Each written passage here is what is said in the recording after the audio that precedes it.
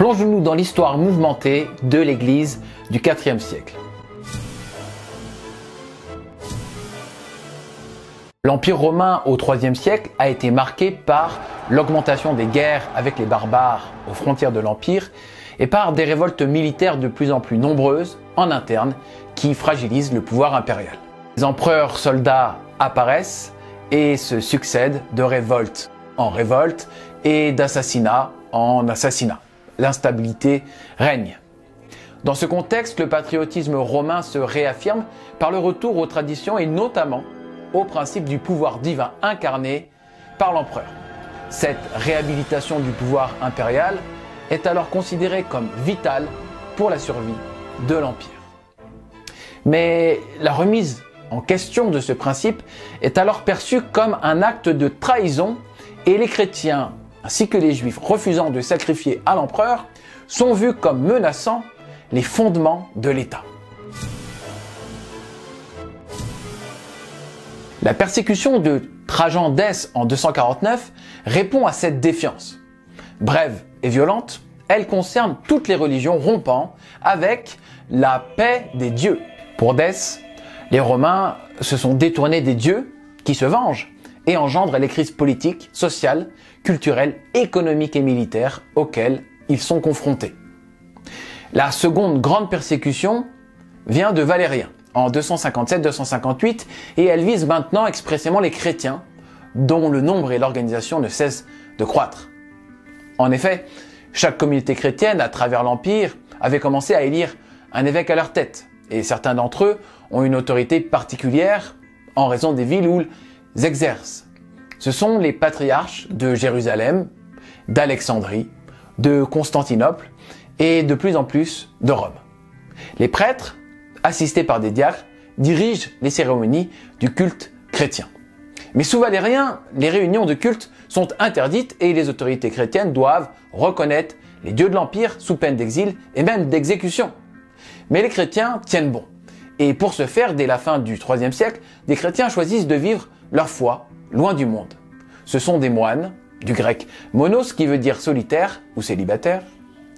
Seuls, ce sont des ermites mais ils peuvent également vivre en dehors du monde, en communauté, dans des monastères. À l'aube du IVe siècle, en 303, les tétrarques Dioclétien, Maximien, Galère et Constance Chlore prennent à nouveau une série d'édits révoquant certains droits des chrétiens en leur imposant de se conformer aux pratiques religieuses traditionnelles de l'Empire sous peine d'emprisonnement d'exécution. C'est la grande persécution de Dioclétien.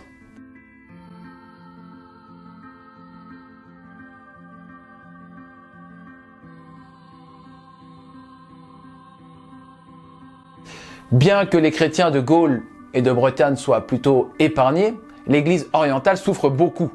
Le nombre de martyrs augmente et avec eux, le nombre des chrétiens dans l'Empire aussi. Le 30 avril 311, Galère, l'un des quatre tétrarques, qui fut un grand persécuteur des chrétiens quelques années auparavant, publie, le jour de sa mort, un édit de tolérance reconnaissant l'existence de la religion chrétienne.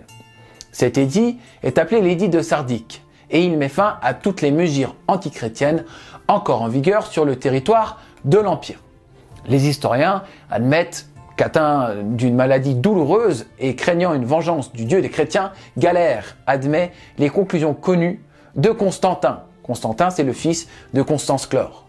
Ces conclusions reconnaissaient l'échec des politiques de persécution de cette religion, la religion chrétienne, depuis Néron. La confirmation générale et de plein droit de l'édit de Sardique arrive le 13 juin 313 quand l'empereur Constantin lui-même, fort de sa victoire du pont Milvius face à Maxence, promulgue le fameux édit de Milan par lequel il légalise le christianisme dans l'Empire romain.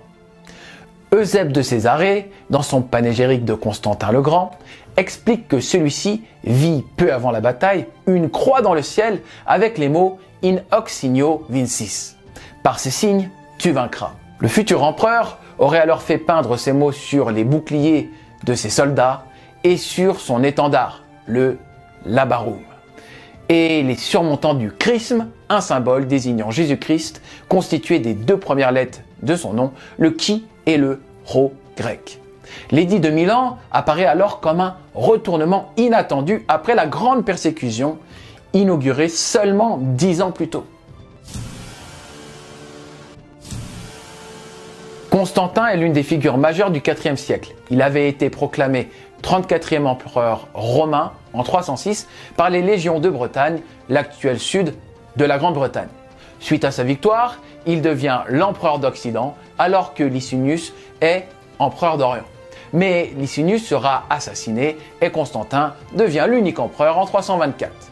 Jean Combi estime que l'on peut considérer cette date comme le véritable commencement de l'Empire chrétien. Mais d'autres historiens préfèrent l'an 330, six ans après, quand Constantin choisit Byzance, sur le Bosphore, comme capitale de l'Empire. En référence au nom de l'empereur, elle prend le nom de Constantinople. Le centre de gravité de l'Empire se déplace donc vers l'Orient et l'église de Constantinople se veut être la deuxième Rome. L'empereur se considère comme l'égal des apôtres et porte parfois les titres d'évêque du dehors. Il intervient désormais dans la vie de l'Église et c'est à ce titre qu'il convoque les conciles. Eusèbe de Césarée écrit à cet égard Mais les empereurs du rang le plus élevé, Constantin et Licinius, fortifiaient encore pour nous. Accroissaient et étendaient par des législations continuelles en faveur des chrétiens, ce qui venait de la magnificence de Dieu. De plus, les évêques recevaient personnellement et d'une manière courante des lettres, des honneurs, de riches cadeaux de l'empereur. C'était l'oubli des mots anciens, la perte du souvenir de toute impiété, la jouissance des biens présents et plus encore l'espérance des biens futurs. Après avoir vaincu Licinius et unifié l'Empire sous son propre sceptre, Constantin se trouve face à une paix religieuse compromise et avec elle la concorde de la société civile qui lui tient tant à cœur. Il s'agit de la controverse arienne qui naît à Alexandrie quelques années avant autour des thèses trinitaires du prêtre Arius. Cette controverse touche au problème du rapport entre le Fils ou Logos de Dieu, Jésus, et Dieu le Père. Pour Arius, Dieu le Père seul est le principe inengendré et l'essence de la divinité ne peut être ni divisée ni communiquée à autrui, alors que toutes les créatures ont été appelées à l'être à partir de rien. Pour lui, le Père est cette essence divine inengendrée, alors que le Fils, le Logos de Dieu, est une créature certes supérieure à toutes les autres et préexistante à tout l'univers, mais avec un commencement. Ils rompt donc avec l'idée origénienne, ça vient de origène, de la coéternité du Père et du Fils. Malgré de nombreux soutiens, Arius fut condamné par son évêque Alexandre. Mais au lieu de s'éteindre, la controverse s'est étendue à toute l'Église orientale et causa un profond déchirement. Constantin vit d'abord dans le conflit d'inutiles disputes entre théologiens, ainsi qu'il l'exprime dans une lettre adressée aux deux adversaires. Il tente alors une médiation qui n'aboutit pas, et naît le projet de former un concile général, comme il en eut lieu au sujet du donatisme au concile d'Arles. Pour la première fois, ce concile s'adresse à toute l'Église de l'Empire. Il eut lieu le 20 mai 325 au palais impérial de Nicée et dura jusqu'au 25 juillet. Une petite remarque concernant les illustrations qui montrent ces personnages bien habillés au grand chapeau pointu. Au concile de Nicée, il y avait certainement en réalité des chrétiens qui sortaient à peine de la persécution. Les historiens nous disent que beaucoup d'ailleurs étaient persécutés dans la ville même de Nicée. Il y avait parmi les gens présents des boiteux, des éborgnés et tout un tas de personnes dont la foi leur avait valu beaucoup de souffrances. On oublie souvent de dire que l'année précédente, en 324, les positions d'Arius avaient déjà été condamnées dans un synode à Antioche. Et cela confirmait la condamnation lancée par Alexandre. Les partisans d'Arius arrivent alors sur la défensive au concile, conscients de ne pas être en majorité, et ils produisent un texte assez vague. Eusèbe de Césarée lui-même intervient au concile. Et il en est encore aujourd'hui le meilleur témoin grâce à son panégyrique de Constantin le Grand. L'affirmation la plus célèbre qui sera condamnée à Nicée est celle-ci. Il fut un temps où il n'était pas. Imaginez-vous. Cette affirmation estimait que Jésus n'avait pas été depuis toujours. La législation au cours du IVe siècle devient de plus en plus défavorable à l'ancienne religion. On élimine peu à peu le paganisme. De leurs propres initiatives, et souvent sous la pression des chrétiens, les empereurs interdisent peu à peu les cultes païens. Constantin interdit lui-même certaines pratiques, la magie, la rupicine, c'est-à-dire la consultation des entrailles. Le paganisme va malgré tout connaître un regain de faveur au temps de l'empereur Julien, entre 361 et 363. Cet empereur sera d'ailleurs appelé par les chrétiens l'apostat.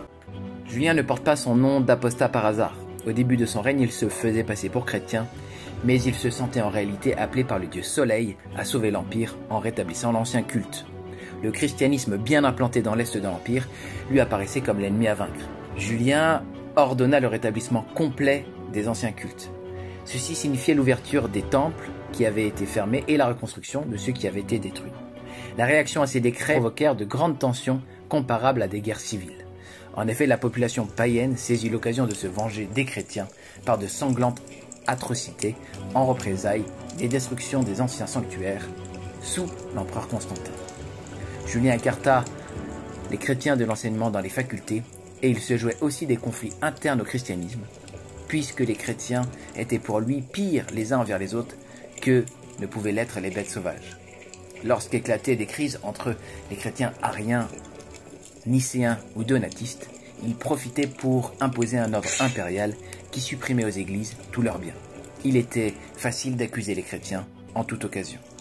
Julien était donc considéré comme un empereur antéchrist, à la volonté farouche d'en finir avec le christianisme. Mais sa mort au combat va être considérée comme une punition divine, car on ne pouvait arrêter l'élan du christianisme. Ensuite, en 379, Gratien rejette le titre de grand pontife. Et en 380, le catholicisme est proclamé religion d'État par Théodose. Les hérétiques sont poursuivis, ainsi que les païens. Et toutes les pratiques païennes sont interdites en 392. C'est le coup de grâce donné à la vieille religion. Certains chrétiens se croient alors autorisés, à leur tour, à persécuter les païens. La religion de l'Empire change, mais dans une certaine mesure, ce sont les mêmes structures mentales qui fonctionnent. Pouvait-il en être autrement? Une séparation de la religion et de l'État était inconcevable. La religion restait le fondement et le ciment de la société. L'esprit chrétien pénètre tout de même les institutions du bas-empire. Sans doute le calendrier chrétien rythme désormais la vie sociale. Depuis 325, les dimanches et jours fériés, ainsi que les grandes fêtes chrétiennes sont célébrés. On décèle une influence chrétienne dans la législation familiale. La loi interdit l'adultère avec une esclave, les obstacles sont mis au divorce sans qu'il soit supprimé, mais l'esclavage n'est pas encore remis en cause. L'Église elle-même a des esclaves. il est toutefois interdit de séparer les familles d'esclaves. On facilite d'ailleurs l'affranchissement par déclaration dans une église et en présence du clergé. On fait aussi preuve d'un peu plus d'humanité dans les prisons. Les geôliers ne peuvent plus laisser les prisonniers mourir de faim. On observe alors une multiplication des institutions charitables telles les hospices et les hôpitaux administrés par des moines. Lors du concile de Nicée, un terme avait été édicté, homoousios. Il permettait de dire que le Fils de Dieu était de même nature que le Père, et donc pleinement Dieu. Mais la formule ne convainc pas les évêques d'Orient, à l'exception d'Athanase d'Alexandrie depuis 328. L'Occident latin, en revanche, est généralement fidèle à la foi de Nicée. Même Constantin, qui avait donné son appui au credo de Nicée, change d'attitude pour apaiser les Orientaux, et Athanase lui-même, qui n'a pas voulu réintégrer Arius, est déposé au concile de Tyr en 335. Il est exilé à Trèves, aux frontières de la Germanie, et va connaître encore ensuite quatre autres exils pour sa fidélité à la foi de Nicée. Les évêques d'Orient et d'Occident se séparent de plus en plus. Et Constance, le seul empereur depuis 351 maintenant, opte complètement pour l'arianisme. Les évêques latins sont exilés en Orient et en 359, l'empereur impose une formule vague dans laquelle est utilisé non plus le terme homo-ousios, mais homoi-ousios. On applique ce nouveau terme au Fils de Dieu pour dire qu'il est d'une nature semblable et non plus égale au Père. Saint Jérôme dira Toute la terre gémissait, surprise de se voir devenue arienne. Une nouvelle question apparaît. Le Saint-Esprit est-il Dieu? Et les Ariens le nient. Mais face à eux, de grands théologiens émergent. Et parmi eux, Basile de Césarée, évêque entre 370 et 379, fait une démonstration magistrale dans son traité du Saint-Esprit en faveur de la divinité du Saint-Esprit qui est de même substance que le Père. Grégoire de Naziance lui emboîte le pas, ainsi que Grégoire de Nice. En 380, Théodose fait du catholicisme la religion d'État et reconnaît Grégoire de Naziance comme évêque de Constantinople et il convoque un concile dans sa capitale pour statuer sur la question de l'identité de l'Esprit Saint. C'est le concile de Constantinople.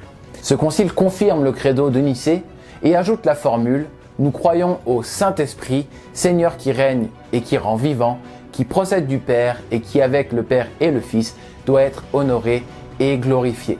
À la fin du IVe siècle, l'unité de l'Empire, qui fut temporairement rétablie sous Constantin, cesse. Après sa mort, le recours à des co-empereurs était redevenu euh, presque systématique. La fin définitive de cette unité a lieu à la mort de Théodose le Grand en 395. Pour conclure, je dirais qu'il est utile de rappeler que si Constantin a uni l'Empire autour de la religion chrétienne, celle-ci n'a pas été instituée par Constantin. Il entérine des croyances déjà partagées et cherche avant tout l'unité de l'Empire. Pour les chrétiens de ce temps, ce fut la fin des persécutions, ils voient cette évolution comme le fruit de la providence divine et leur reconnaissance à l'empereur est toute compréhensible. On peut comprendre dans ce contexte qu'il fut difficile de remettre en question à cette époque du moins l'institution politico-religieuse qui émerge. Ce n'est que plus tardivement les dérives d'une telle articulation du politique et du religieux seront pointées du doigt, notamment à la réforme. Mais encore une fois, ceci est une autre histoire. Je vous remercie de m'avoir écouté. Soyez bénis.